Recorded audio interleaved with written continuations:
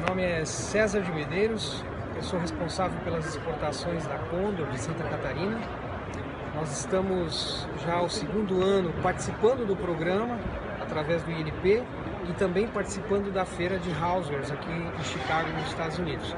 Nós estamos bem satisfeitos com os resultados que a gente vem obtendo através do programa, tanto nas rodadas de negócio que às vezes são realizadas no Brasil ou até fora do Brasil, como com as feiras que nós temos realizado com o programa.